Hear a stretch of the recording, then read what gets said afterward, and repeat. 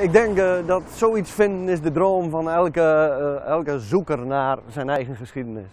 De oudste delen van de film zijn 74 jaar oud. Huisarts Jo Reniersen filmde door de jaren heen zijn opgroeiende kinderen. En daardoor krijg je een perfect beeld hoe Hollandse Veld er vroeger uitzag.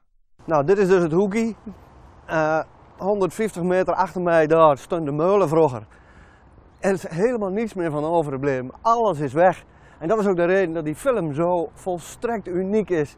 Het is, uh, het, het zijn beelden die zowel technisch als kwalitatief echt heel erg goed zijn. En het geeft een prachtig beeld van het dorp uit een tijd die helemaal voorbij is. Zowel de kinderen van dokter Reniers als de toenmalige 19-jarige dienstmeid Femmertje Smit wisten niet van het bestaan van de film. Die kinderen zijn nu bejaarden, net als Femmergie, maar ze hebben nog steeds contact. Ja, daar heb ik hem van gekregen. En toen u hem zag, wat dacht u toen? Geweldig. Maar ik dacht wel, ik moet er wat mee doen. En zodoende heeft Bertus hem gekregen.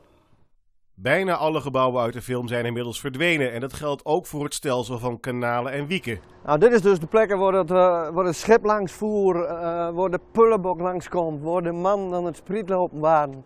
Uh, het water. Onvoorstelbaar mooi.